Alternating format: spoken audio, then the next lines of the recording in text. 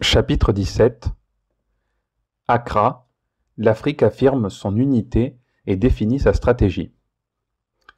En 1884, les nations occidentales réunies à Berlin décidaient de se partager le continent africain et fonder légalement le régime colonial. Depuis l'évolution des rapports de force dans le monde, la naissance de nouvelles puissances ont obligé les nations occidentales à reculer et à se retirer d'une grande partie de leurs possessions. Après l'Asie, l'Afrique. L'Asie est maintenant libérée du colonialisme et des territoires comme la Chine, frappés, semble-t-il, jusqu'à ce jour d'une sorte de misère absolue, créent comme une nouvelle civilisation, authentique, celle-là qui concerne l'homme et qui débouche immanquablement sur lui.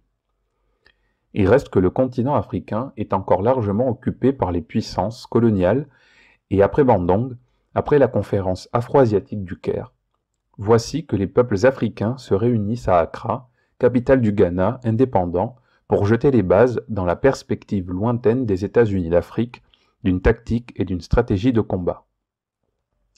Une solidarité biologique. À Accra, se sont retrouvées les organisations politiques et syndicales du continent africain, leur idéologie commune, volonté nationale contre la domination étrangère, leur tactique, affaiblir les uns après les autres les colonisateurs, leur stratégie, déjouer les manœuvres et les tentatives de camouflage de l'oppresseur. Ce qui a frappé l'observateur à Accra, c'est l'existence au niveau le plus spontané d'une solidarité organique, biologique même, mais au-dessus de cette sorte de communion, affective, il y avait bel et bien le souci d'affirmer une identité d'objectif et aussi la volonté d'utiliser tous les moyens existants pour expulser le colonialisme du continent africain. Ces hommes et ces femmes s'étaient réunis à la fois pour exposer la nature du colonialisme auquel ils étaient soumis, pour étudier le type de lutte possible, pour articuler leurs offensives, pour faire pression enfin, territoire après territoire, sur des colonialismes identiques. C'est pourquoi, très rapidement, par-delà les commissions, se sont créés des contacts entre pays sous tutelle, colonies de peuplement du type Afrique du Sud, Kenya, Algérie, Dans la communauté représentés essentiellement par les Afriques dites françaises. Les États indépendants d'Afrique ont reçu à Accra un accueil enthousiaste. Ce sont ces États qui, en avril 1958, avaient jugé indispensable cette réunion d'Accra pour accélérer la libération du continent africain. La RAU, République arabe unie, la Tunisie, le Ghana, l'Éthiopie, etc., avaient tenu à déléguer au Congrès des hommes et des femmes qui témoignaient de l'appui inconditionnel de ces États aux différents peuples en lutte. La jeune République guinéenne, représentée par trois de ses ministres, fut acclamée avec enthousiasme par le Congrès. Violence et non-violence, la fin et les moyens. Plusieurs problèmes ont été débattus au cours de cette conférence les deux plus importants semblent avoir été celui de la non-violence et celui de la collaboration avec l'ex-nation dominatrice. Il est évident que les problèmes sont liés. La fin du régime colonial réalisé selon des formes pacifiques et rendue possible par la compréhension du colonialiste pourrait, dans certaines circonstances, déboucher sur une collaboration renouvelée des deux nations. Or, l'histoire montre que nulle nation colonialiste n'accepte de se retirer sans que toutes ces possibilités de maintien n'aient été épuisées.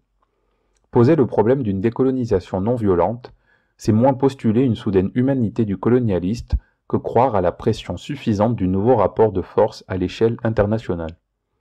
Il est clair, par exemple, que la France a amorcé un processus de décolonisation en Afrique noire.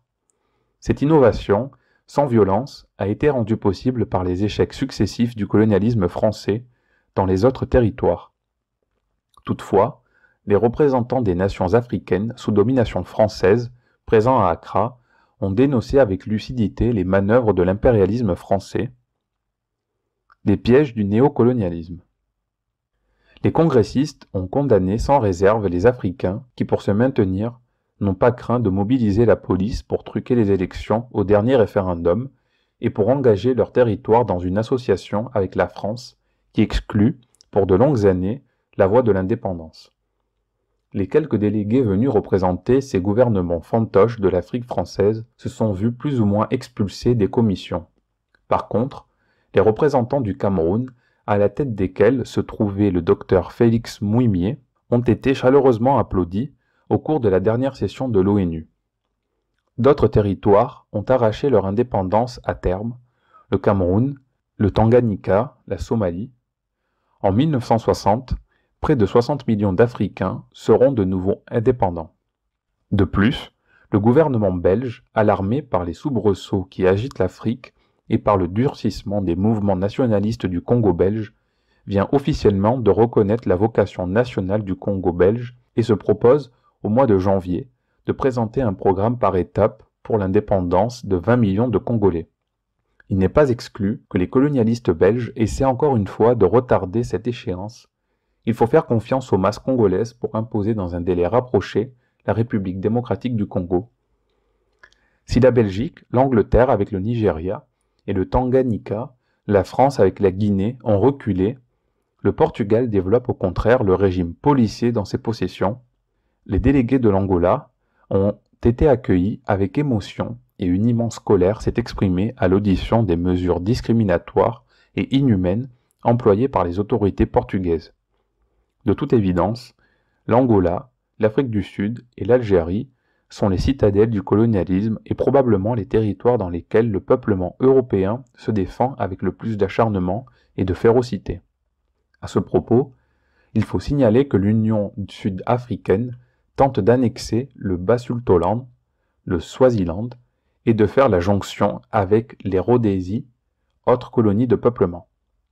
Cette colonisation, après la colonisation, est certainement l'un des phénomènes les plus remarquables de cette période de libération du continent. La Légion africaine. Dans les colonies de peuplement du type Kenya, Algérie, Afrique du Sud, l'unanimité s'est faite, seule la lutte armée provoquera la défaite de la nation occupante. Et la Légion africaine, dont le principe a été adopté à Accra, est la réponse concrète des peuples africains à la volonté de domination coloniale des Européens. Les peuples africains, en décidant la création dans tous les territoires d'un corps de volontaires, entendent manifester clairement leur solidarité aux autres peuples, exprimant ainsi que la libération nationale est liée à la libération du continent. Les peuples en lutte, convaincus aujourd'hui que leurs frères africains partagent leur combat et sont prêts à intervenir directement au premier appel de leurs organismes dirigeants, voient l'avenir de façon plus sereine et plus optimiste. Dans les meetings populaires, organisés au Ghana, en Éthiopie, au Nigeria, des centaines d'hommes ont fait le serment de se porter au secours de leurs frères algériens ou sud-africains dès que ceux-ci en manifesteront le désir. L'Afrique doit être libre, dit le docteur Nkrumah dans son discours inaugural. Nous n'avons rien à perdre que nos chaînes et nous avons à conquérir un continent immense.